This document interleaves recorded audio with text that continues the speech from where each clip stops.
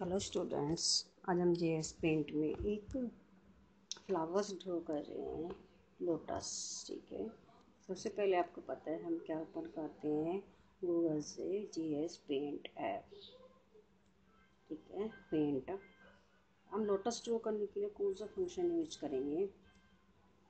Curve tools का और flip rotate functions का, ठीक है? फ्लिप रोटेट में भी हॉरिजेंटल्स और वर्टिकल्स तो ये हमारा कर्व टूल्स है, ये हमारा लाइन है। लाइन की थोड़ी विथ हमने ज़्यादा कर लिया कर्व्स में अब देखना, हम लोटस का हाफ़ पार्ट ही बनाएँगे। ये देखिए, ये ये हमने इस तरीके से सेट करते हैं यहाँ हम दो बार प्रेस करते हैं लाइन को। अब हम एक लाइन बनाएँगे। राइट फिर कर्व को लेंगे। लाइन यहाँ से स्टार्ट करके यहाँ ख़त्म करेंगे और फिर इसको ऐसे थोड़ा सा अब यहाँ पर एक बार और प्रेस कर देंगे। अगर दो बार प्रेस नहीं करते हैं तो वो हिल जाता है। फिर हम एक और हमने ड्रो की लाइंस अब हम क्या करेंगे? कर्व टूल्स की मदद से, जो हमने थोड़ी देर पहले किया था, बिल्कुल सिमिलर कर देंगे, ठीक है? अब हमारा क्या, यहाँ पर थोड़ा सा रह गया है। तब हम क्या करते हैं? जूम टूल्स लेते हैं और पेंसिल की मदद से इस लाइन को कंप्लीट कर दिया। देखिए, अब ये क्या कि कलर बाहर नहीं निकलेगा। अब हम वापस इसको छोटा कर लेंगे जूम से। ये देखिए अब हम क्या करते हैं? सिलेक्ट टूल्स लेते हैं, इसको सिलेक्ट करते हैं एडिट में जाके कॉपी करते हैं एडिट में ही जाके हम सॉरी बेटा यहाँ पर अंडो कर दिया है। एडिट में ही जाके हम इसको क्या करेंगे? पेस्ट करेंगे। इमेज में जाके फ्लिप रोटेट और हमें क्या करना है? ये रोटेट करना है, तब हम हॉरिजॉन्टल डायरेक्शन में रोटेट कर रहे हैं। ये देखिए ऐसे आ गया। अब हम यहाँ नीचे वाले पे करेंगे ट्रांसपेरेंट फ़ंक्शंस पे। अभी देखिए अभी ओवर राइट नहीं हो रहा, पहले ओवर राइट हो रहा था इसके ऊपर।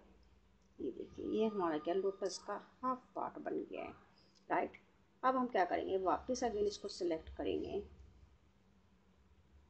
और क्या करेंगे? कॉपी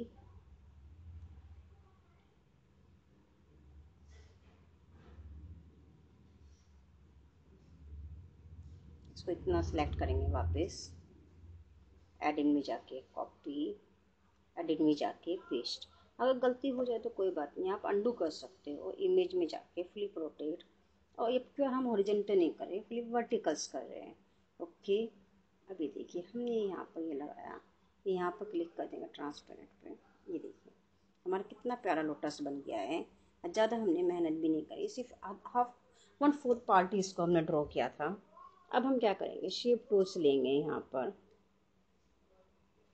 ये हमारा शेप टोज और यहाँ से हम इसकी थोड़ी सी एक लाइन ड्रॉ कर देंगे, ठीक है?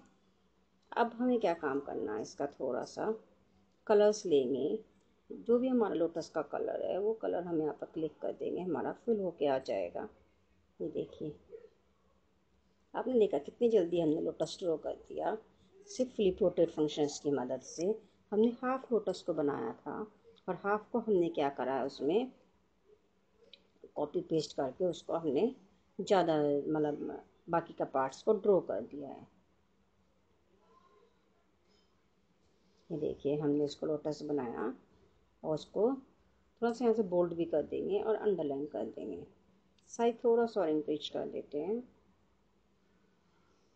ये देखिए, इस तरीके से हमने एक लोटस को आज ड्रॉ किया है। सबसे पहले हमने क्या किया था? कर्व टूल्स लिया था। कर्व टूल्स की मदद से एक लाइन खींची उसको सेट किया। इसके बाद इसी तरीके से हमने वन फोर्थ पार्ट बना लिया था। फिर हमने उसको सिलेक्ट करके कॉपी किया फ्लिप ओरिजेंटल में रोटेट किया है। उसके बाद पूरे को सिलेक्ट करके वापस हमने कॉपी पेस्ट किया है और फिर फ्लिप वर्टिकल्स किया है। इस तरीके से हमने एक लोटस को आज इसमें ड्रॉ किया है।